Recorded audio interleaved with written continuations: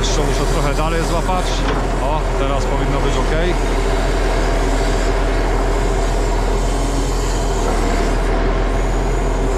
Trochę mi ta ława, ta konica przeszkadza. Nie, tak to nie będziemy wrzucać. Niech tak pęknie, więc możemy to zrobić jeszcze w inny sposób. Niedobrze.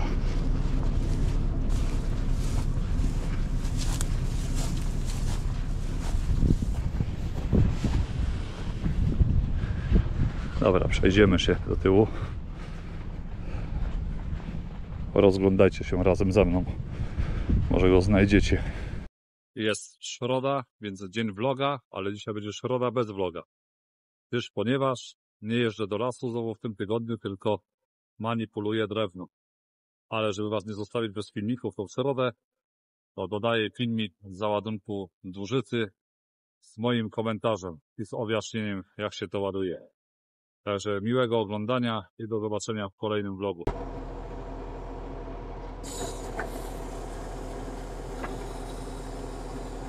Będziemy ładować użycę 18-metrową. Już sobie tutaj kłonicę na wózku wysunąłem. Bo i tak ła- ładunek jest z lewej strony.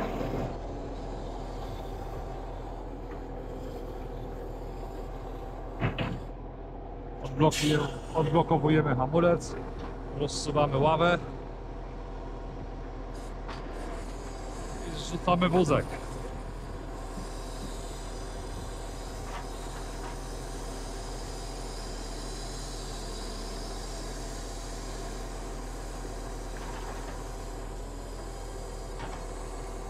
Ławę zamykamy. Bierzemy jakieś dwie sztuki. To jest akurat krótka z długą. Musimy wziąć takie dwie równe mniej więcej, te dłuższe. Też jest krótka z długą. Kurde. Trochę jest go, gorzej ułożone drewno do załadunku, ponieważ mamy wszystko obrócone odziomami. Także większość sztuk musimy obrócić. Ale poradzimy sobie.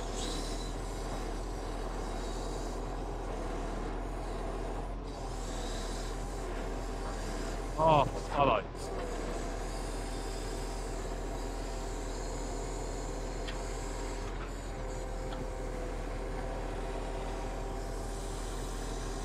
Cienkie to drewno bardzo. Jedną sztuką raczej nie uda mi się rozciągnąć wózka, bo będzie za lekko, ale spróbujemy. Raczej powinno się więcej dawać sztuk. Tym bardziej takich cienkich, ale może się uda. A nawet idzie.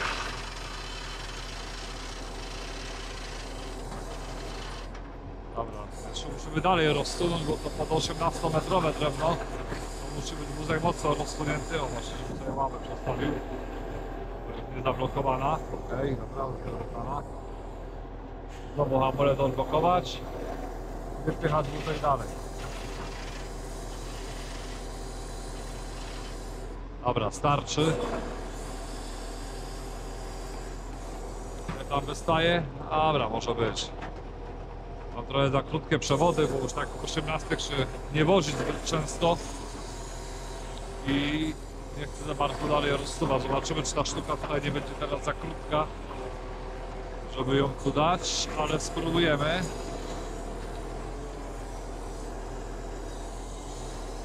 Ale chyba może być za, za krótka trochę.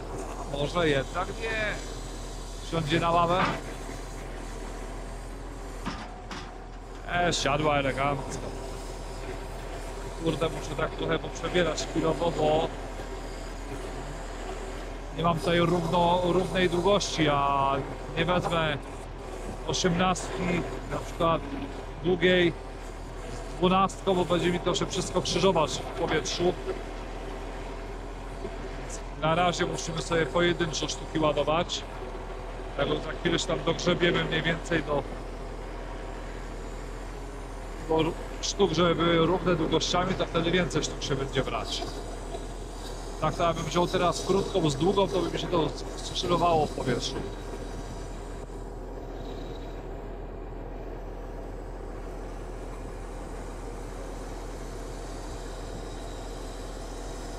Da się ją tak położyć? Się uda. Nie zahaczy. Dobra, już przesuniemy dalej.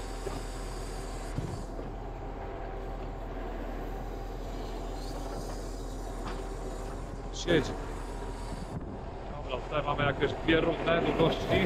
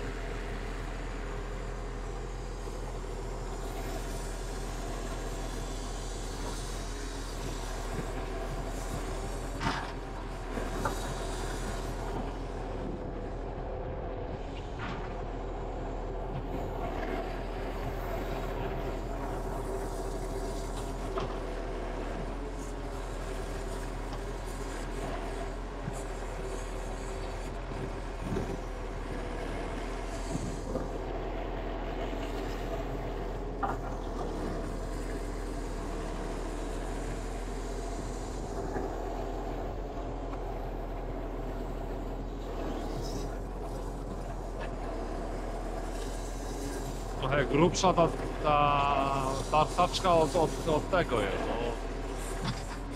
od kopalniaka, ale niewiele grubsza.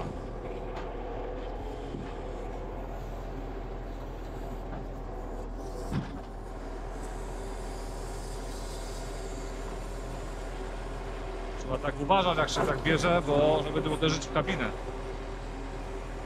W sumie tak nie lubię stać kabiną przy, mygrę, ale w tym przypadku akurat nie byłoby za bardzo wyjścia, bo musiał, miałbym gorzej trochę do obracania tych sztuk. A tak to jest trochę łatwiej, ale trzeba uważać, żeby właśnie nie podbiło którejś sztuki, nie uderzyła w tą, nie? Kabinę. To bym nie przebolał. Ale raczej to się nie wydarzy, mam nadzieję, nigdy.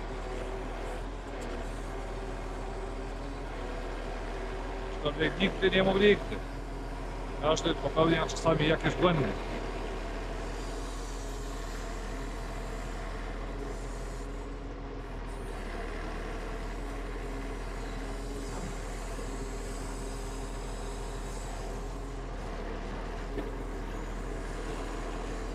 Jak już trochę wyżej będzie, to też będzie łatwiej trochę, bo będę sobie o tak ładować nad, nad, tym, nad tym stosem. Ale mam trochę jeszcze drewno, więc mi się tak trochę, widzicie, mam problem sprawia, ale jakoś to ogarniemy.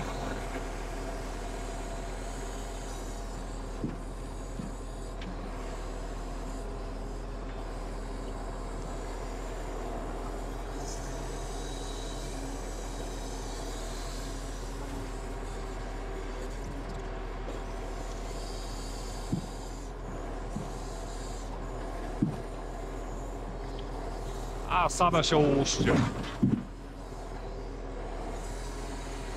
Kiepsko się ułożyły, ale niech im będzie. Dobra, tutaj mamy dwie równe. Trzeba uważać teraz właśnie w ten sposób, jakby o, przy takim e, wrzucaniu, to trzeba uważać, by się nie złamała, nie? Bo środek ciężkości mamy większy z tyłu. Trzeba to tak dość powoli zrobić, nam się te sztuki po prostu nie złamały. Zwłaszcza jak są takie cienkie. To trzeba wy, wy, wyłapać środek ciężkości.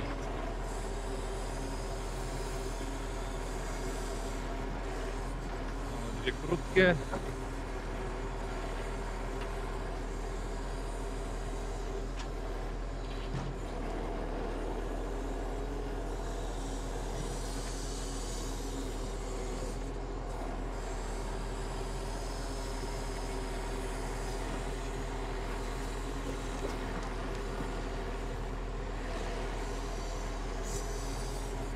Jeszcze muszę trochę dalej złapać.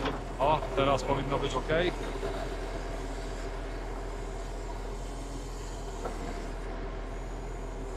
Trochę mi ta ława, ta konica przeszkadza. Nie, tak to nie będziemy wrzucać. Niech tak pęknie, więc możemy to zrobić jeszcze w inny sposób. Mianowicie położymy sobie, złapiemy ją trochę dalej za środkiem ciężkości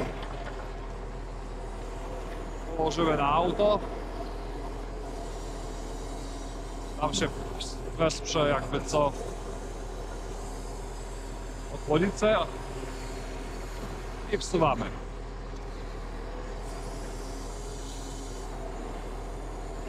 Jak są grubsze sztuki, to nie ma problemu, bo na tak szybko się nie złamie. A taka cienka może w każdej chwili pęknąć. Może się narobić, bo to, że ona tam pęknie, tam trudno przerobić ile tam tak ale jak źle pęknie i się uderzy tutaj w tą skrzynkę, albo co gorsza w głowę, to by nie było zbyt fajnie.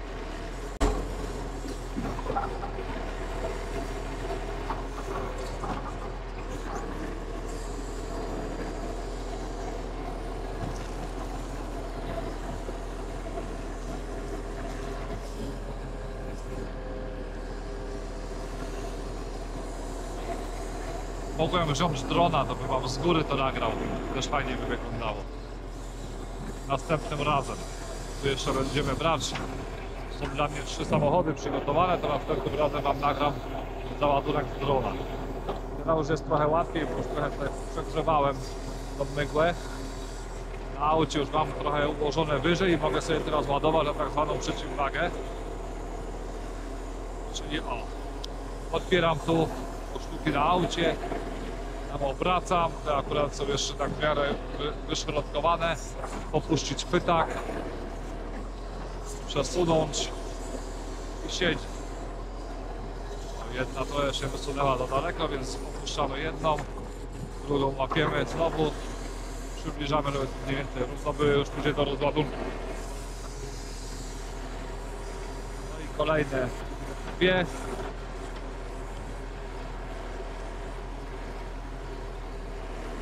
Znowu sobie je tam przesuniemy.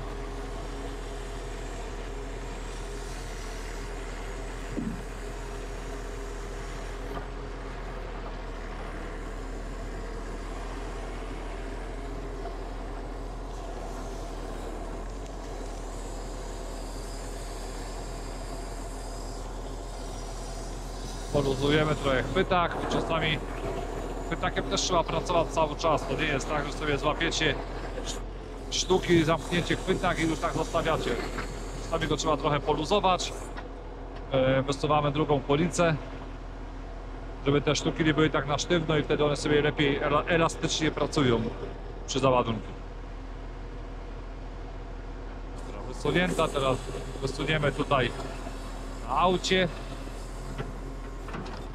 Proszę, ofiaro losu, złap to porządnie.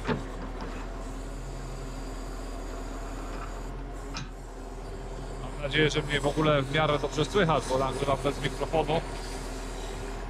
Co my tu mamy? Dwie długie, dwie krótkie, ale takie, dobra, ogarniemy te cztery. Tak samo trzeba je złapać tu. przesunąć tam. Jak najdalej. A muszę robić tutaj, tutaj waga. Dobra, delikatnie otwieram pytach, patrzę co się dzieje, żeby nie puścić ich nagle, bo nie podbiło mi tutaj nigdzie. Dobra, jak już tak jest, to już jest stabilnie, w miarę bezpiecznie. A jak już tutaj sobie złapę, to już się nic nie stanie. Bo ją mogę tutaj podnieść i tam już mam na ziemi. I znowu sobie weźmie, żeby znowu w takich przypadkach są takie cienkie, też trzeba uważać, bo czasami jedna potrafi z chwytaka wyjechać.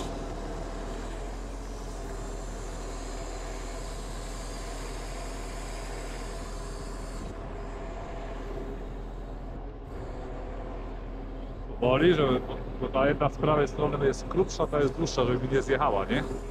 Czy tam mi było haczy, o, puściło i wsuwamy.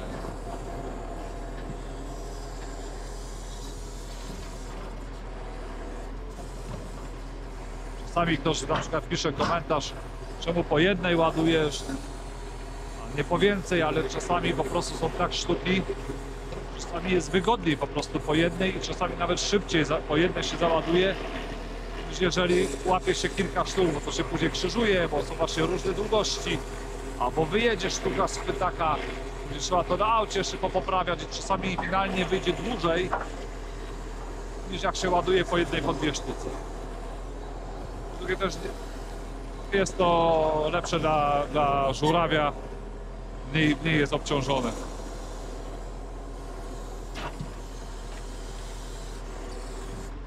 Tak jeszcze pracuję na niższych obrotach, bo ja mogę to jeszcze obroty podkręcić. Ale ja sobie tam robię trochę, trochę mniej, te pompy cierpią. Nic się z nimi nie dzieje. Dobra, to jeszcze tak samo tu wrzucimy. Właściwie to nawet nie muszę za bardzo tego ziomu dawać na przyczepę, bo i tak to wejdzie bez problemu i tak. A łatwiej się będzie rozładowywać, bo ja mówię, jak się będzie łapać od szpica tutaj pod grzebien, o, zawsze jest ryzyko, że może pęknąć która sztuka przy takiej cieliźnie. Przy załadunku owszem, jak trzeba to trzeba, a im więcej odziomów na aucie, tym łatwiej później do rozładunku.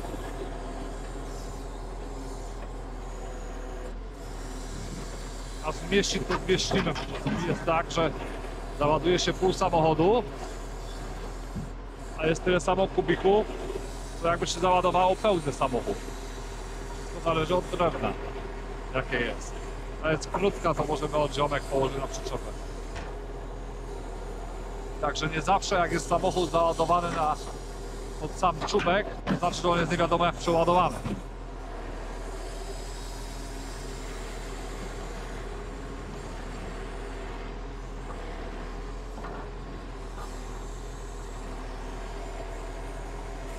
Też można, jak jest taka niepewna, właśnie cienka sztuka, to można lekko chwytak poluzować. Ona wtedy nie jest tak napięta. Widzicie? Bardziej pracuje. Mniejsze ryzyko jest, że złamie się. Te mamy takie krótsze już sztuki, to sobie je właśnie powrzucamy oziomkiem na przyczepę. Trzeba ją przebrać.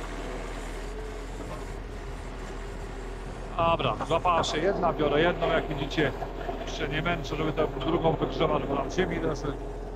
Szybciej to po prostu wrócę po jednej, niż będę tam grzewać i, i męczył ten chwytak.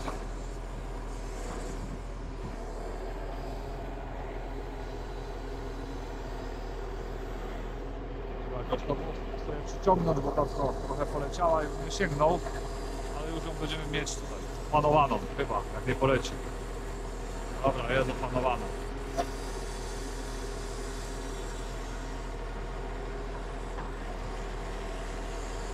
Teraz sobie ją tutaj przyciągniemy, o i teraz sobie wrzucimy dwie.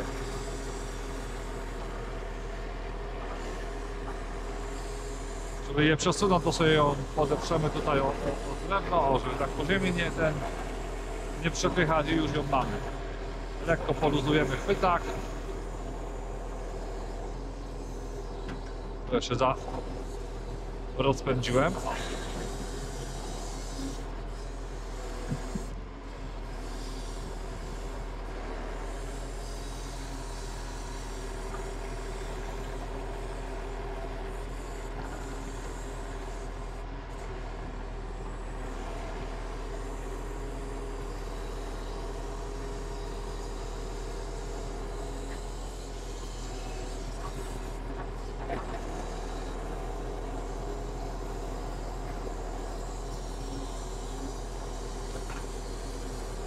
Dobra,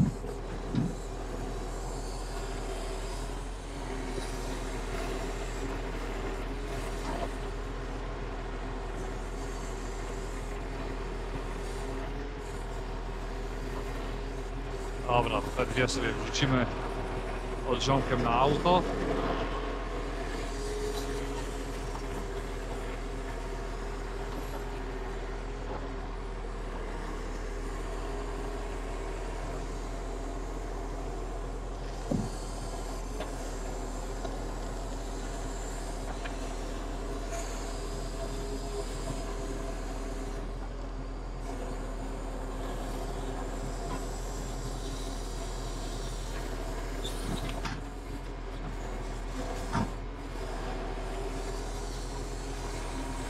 Ostatnie trzy sztuki i auto załadowane.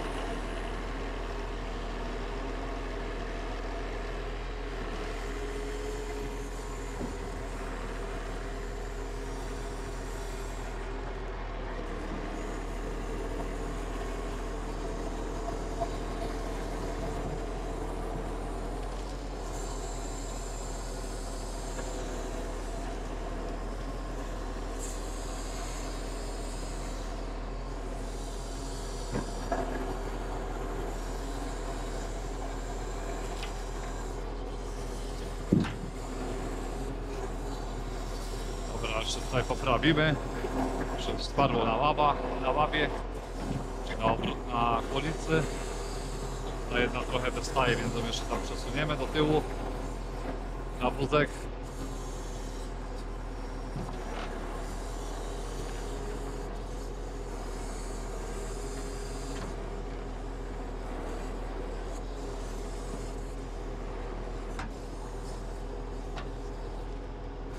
No i mamy to załadowane.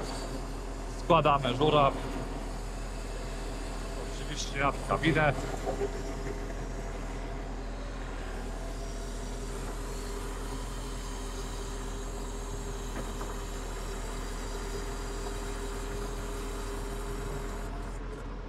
Chowamy podpory.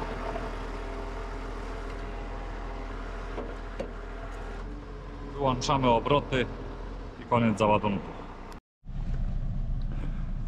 A więc tak to wygląda. Samochód załadowany. Pamiętajcie polubić moją stronę na Facebooku. Pospinane. Z tyłu trochę wystaje. Mógłbym bardziej rozciągnąć wózek i wtedy by mniej z tyłu wystawało, ale mam trochę za krótkie przewody.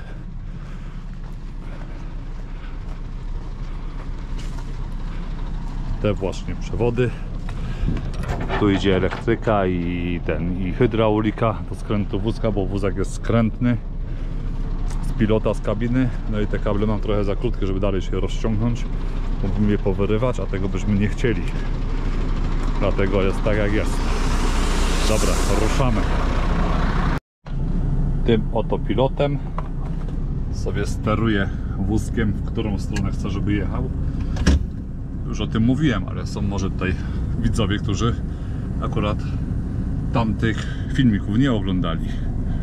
Dobra, ruszamy. A dam was na głowę. Zobaczycie, co ja wi- widzę. Albo nie zobaczycie, bo jestem wysoki i może tylko zasłonkę zobaczycie, ale okej. Muszę trochę dosterować e, w lewo, bo wózek ucieka na prawą stronę.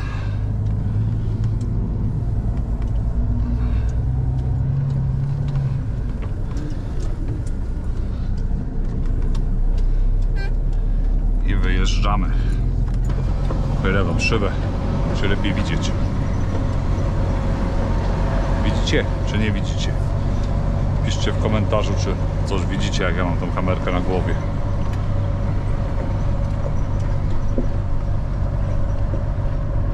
Tutaj mam uchwyt też na kamerkę, ja sobie chcę w timelapsie coś nagrać z drogi, to sobie tutaj właśnie ją montuję.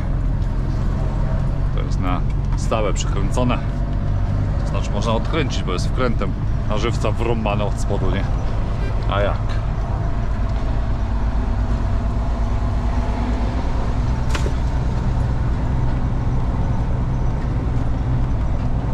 Zimny łokieć.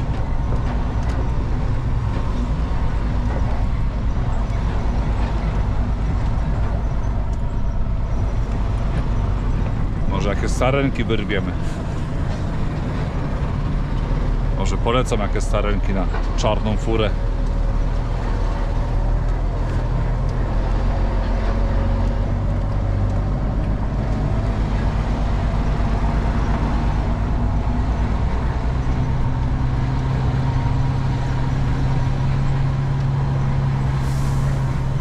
Ja tutaj wywiozłem z pięć samochodów zimą. Te szkłody. Tutaj ładowałem w tym miejscu. O tu, tu, tu. Nie wiem czy teraz widzicie jak palcem pokazywałem, ale to teraz wam pokażę. To było tu. Tutaj kłodę ładowałem. I coś wam pokażę zaraz. Patrzcie, droga fajna. Twarda. A w zimę był tu w jednym miejscu problem.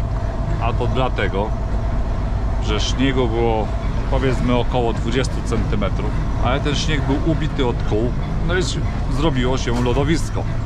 A jak się zrobiło lodowisko, to zaczęło ściągać samochód, bo tu jest taka nierówność, na którą teraz by nikt nie zwrócił w ogóle uwagi, bo przejedziemy bez problemu. Natomiast zimą to już się robił problem.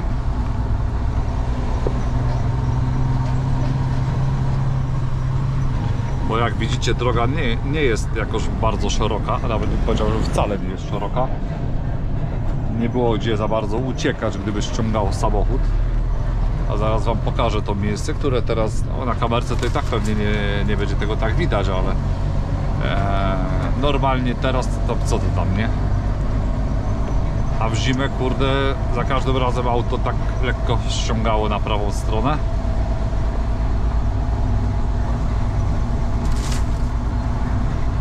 To miejsce jest tutaj. O, widzicie? Tak lekko droga idzie w prawo. Nie wiem, czy widać na kamerce. To jest niby nic, ale w zimę już go ściągało do rowu. Widzicie, jak się auto przechyla? Teraz nam nic nie grozi. Ale w zimę już ciężar go pchał na prawą stronę i można było wylądować w rowie. A więc ja wtedy biorę sobie już wcześniej szpadel, podsypuję piachem, żeby łatwiej było wyjechać. Jestem teraz tak rozciągnięty z tymi osiemnastkami i tutaj Wam powiem, że jest wyjazd taki, że nie będę widział w ogóle przyczepy. Będzie szła w krzakach. Trochę na czuja pojedziemy, ale ja wtedy też obserwuję kłonice, które wystają na górę. Czy idzie wózek za mną, nie? Czy o, teraz go nie widzę w ogóle w tych krzakach, ale patrzę, czy kłonica jedzie mniej więcej tak jak jedzie ta przednia. Bo jakby tak nie było, to bym się zatrzymał, wysiadł i popatrzył, co się tam dzieje a dokładne miejsce, o które mi chodzi, nawet nie wiem, czy nie wysiądę, a nawet wysiądę Wam, choćbym nawet był pewny, że przejdzie, to wysiądę Wam pokazać, o co chodzi. Ale chodzi właśnie tutaj o te krzaki, które generalnie nie przeszkadzają. Natomiast jak jest długie drewno i wózek jest daleko z tyłu, tutaj musimy się wyciągnąć trochę do przodu, tak. I teraz łamać. Widzicie w tamtym lusterku? i teraz muszę trochę oddać już gałęzie. Ja od razu się oczywiście zwolnię i ręką przytrzymam, żeby mi te gałęzie po kabinie nie poszły, nie porysowały kabiny, bo bym się wściekł. Dobra, poszły.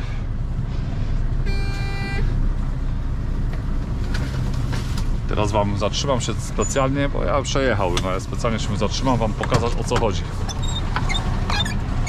To wysiądę z tych krzaków jakoś. O.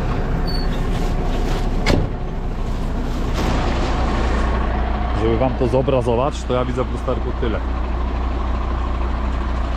Tak to w ogóle wygląda. I teraz widzicie, jak ja się spojrzę w lusterko, to ja widzę te krzaki. Nie widzę, gdzie idzie przyczepa w ogóle. O. Ja się tu przedzieram przez te krzaki, żeby Wam to pokazać. Idzie dobrze, bo ja tam ustawiłem na wyczucie, bo osoby, które jeżdżą już długo po lesie, to już wiedzą, jak wózek pójdzie, to sobie ustawią, nie? O, tam jest auto. A na co ja patrzę, kiedy nie widzę kompletnie wózka, to patrzę na tą kłonicę. Wystaje ją w lusterku. O ile oczywiście wystaje poza krzaki, to ją w lusterku zawsze tam dojrzę. Mniej więcej po niej widzę, jak idzie wózek. No, no to już wiecie, o co mi chodzi. Wsiadamy do auta i wyjeżdżamy dalej. A, pokoliłem się. Kur... A jak ja teraz tu wejdę? Łatwiej było wyjść. Ja.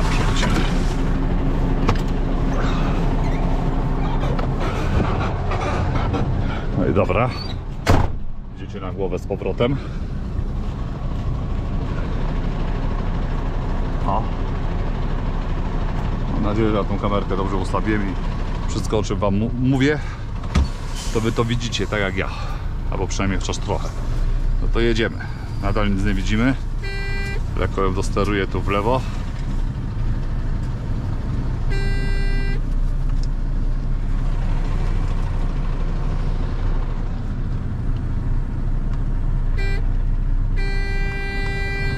Teraz odbijam w prawo i przejechaliśmy. Tak jak mówię, osoby, które jeżdżą na co dzień już mają wyczuty ten kurde już mają wyczuty ten wózek i, i sobie dają radę bez wysiadania. Ale czasami warto wyjść z samochodu i się upewnić, bo to jest tak naprawdę ile stracisz? 5 minut? Ale masz pewność, że ten wózek idzie ok, a tak to niech tam będzie jakiś korzeń albo pniak. Jak przyłożysz oponą tak ci współczuję i twojemu szefowi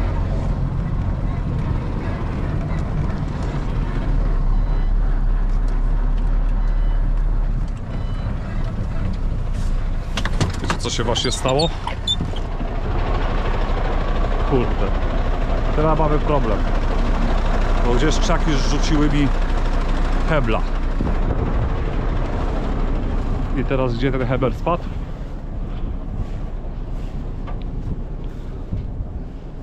I czego nie rozjechałem?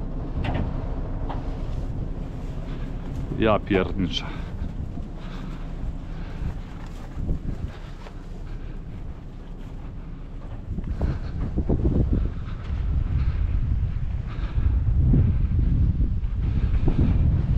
Bo teraz mi wywaliło mi błąd.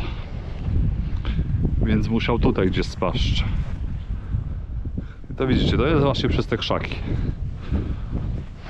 Bo wywaliło mi błąd Electronic System, coś tam.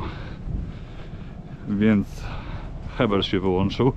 Teraz chodzi na alternatorze. Nie mogę go zgasić, bo go nie odpalę. A nie wiem, czy znajdę tego hebla, bo mogłem go wbić w ziemię przejeżdżając na przykład po nim. Weź go to człowieku teraz znajdź.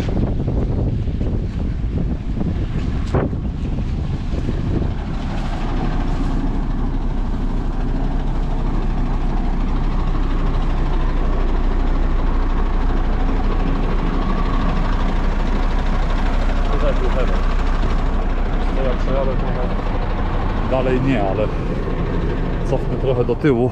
Cofnę do tyłu. I przejdziemy, czy on gdzieś, bo się w tym momencie wyświetlił błąd. Więc on gdzieś tu spadł. Ja przejadę do tyłu, to nie wiem, czy go nie wgniotę w ziemi jeszcze bardziej. Ale może nie.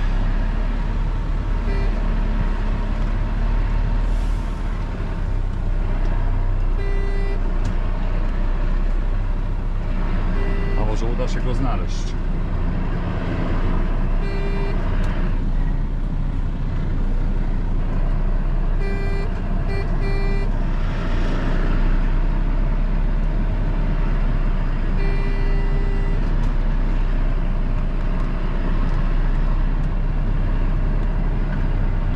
Dobra, mniej więcej tutaj się to oświeciło. Idziemy go szukać teraz.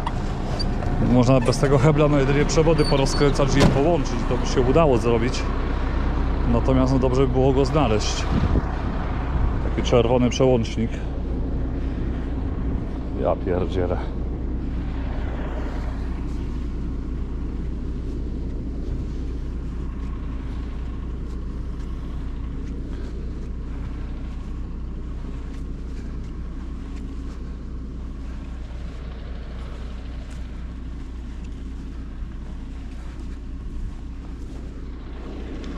Tutaj nigdzie nie widzę. To jest taki mały plastikowy, plastikowy przełącznik. Mogę mieć problemy ze znalezieniem go. Ale wrócę się w te krzaki. Może już w tych krzakach mi tam kurde właśnie spadł. To jest właśnie to, ale ja wyjeżdżałem, powiem wam, już kilka samochodów tu wywiozłem. I się z tego nie, nie spadł, ani razu.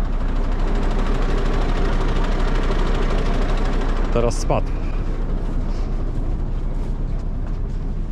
Niedobrze.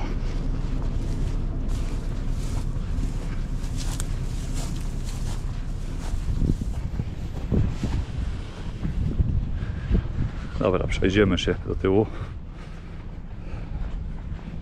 Rozglądajcie się razem ze mną. Może go znajdziecie. Kurde, myślałem, że dzisiaj trochę szybciej skończę robotę. A tu nic z tego. Tych krzakach tego wcale nie znajdę. Taka mała popierdółka jest. Ale trzeba próbować.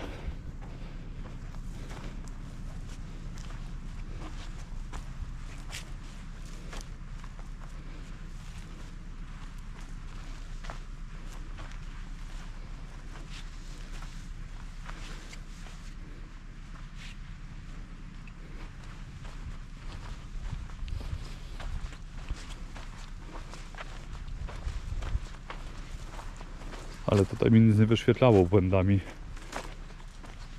Więc tutaj chyba go nie zgubiłem.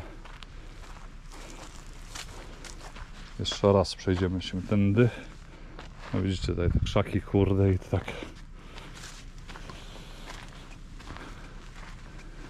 No ja pierniczę.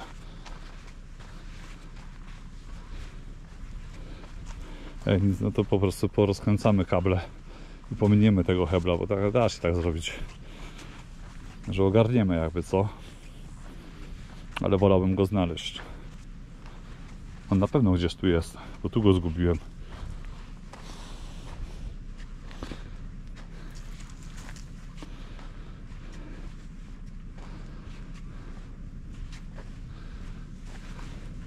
Jest. Jest, widzicie? Jesteśmy uratowani. A jednak, no tutaj na tych krzakach. Te krzaki przetarły mi o ten i dobra. Nie będę pierdzielił głupot, tylko biegnę szybko, bo on tak nie powinien pracować. Powinienem go zgasić od razu w sumie. Ale jeszcze właśnie chciałem, że jakby coś, przejechać trochę do tyłu, do przodu, bo może właśnie mówię, gdzieś tu jest. A teraz go włączymy. Będzie git.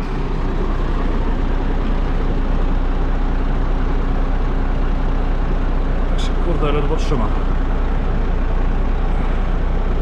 Dobra, ale trzyma się.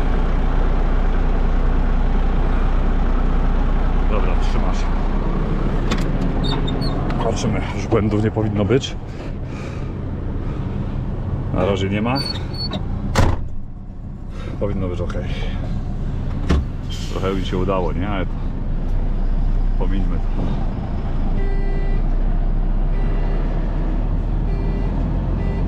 Chyba wezmę i go lekką wiertełkiem przewiorcę dziurę w nim. Jakąś lekką może kawałek sznurka, żeby on wziął i po prostu, wiecie, przywiążę go do obudowy akumulatorów, go przywiążę. Jak kiedykolwiek się tak zdarzy, no to no to on nie spadnie mi na ziemię. Ale wam powiem, pierwszy raz mi się tak stało.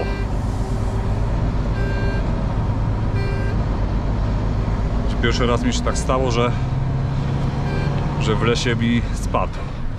Bo raz kiedyś mi się tak przytrafiło, ale to zaraz, bo ja zawsze hebla wyłączam na noc. I po prostu źle go rano włożyłem i odpaliłem samochód.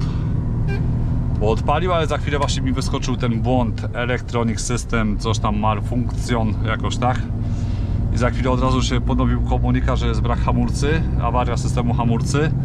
No i od, to było na firmie, więc od razu się zatrzymałem. I on po prostu był wyłączony tak jakby, ale nie spadł. Dlatego teraz mi się wywalił ten sam błąd i od razu wiedziałem o co chodzi, to nie jest tak, że ale pierwszy raz mi to yy, gałąź zrzuciła, go, zrzuciła mi go na ziemię. Yy, I mało tego wam powiem, że ja wczoraj dwa auta stąd wywiozłem, dzisiaj wywiozłem rano kłodę 5-metrową i tak się nie stało. Ale faktycznie wczoraj dzisiaj rano kłodę woziłem, a teraz jechałem dużyco, może bardziej samochód wyciągłem i bardziej w te krzaki wjechałem. I może dlatego. No ale generalnie pierwszy raz yy, mi się tak zdarzyło, że w lesie mi spadł ten, ten. Ja to sobie wezmę, może pojadę go dokupić po prostu taki jeden na zapas. Aczkolwiek mam nadzieję, że on nie będzie spadał. No, musimy zobaczyć, czy on tak w ogóle nie trzyma, bo on powinien mocno trzymać i nie powinien w ogóle spadać. No a druga sprawa, że on jest w takim miejscu, że właśnie może o cokolwiek zahaczyć od niego i go po prostu przekręci i on spada.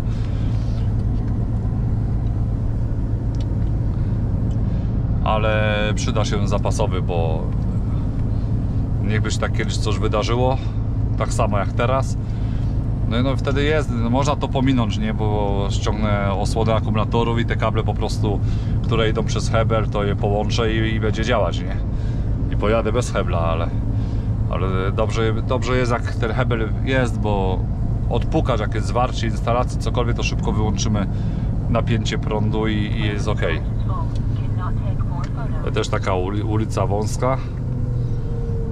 Fajnie będzie wyglądać, jak się będzie łamać taka dłużyca, nie? Trzeba się wyciągnąć mocno do przodu. Nie patrzcie się pod to, że pod 10 ton jadę, bo tu zezwolenie jest. Oczywiście, że jest, bo jakbym inaczej miał stąd wyjechać. Trochę dosterujemy.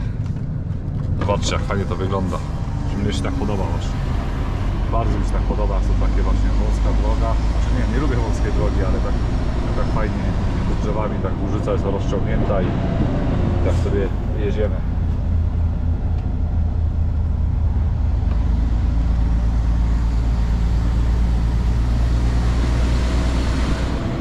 Jeszcze zanim wyjadę na główną drogę, znaczy no to już jest niby na asfalcie, ale na taką krajówkę to jeszcze sobie sprawdzę tego hebla.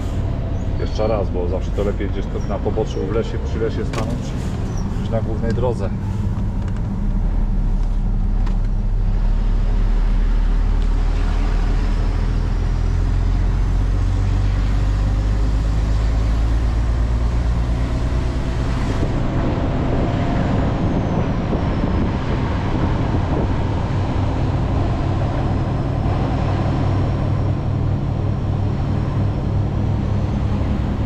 Dobra, no to byłoby na tyle w tej relacji.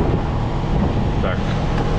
Z niczego nagrałem ten filmik, po prostu pokażę Wam jak ładuję 18-metrową cieniznę. Koniki, o.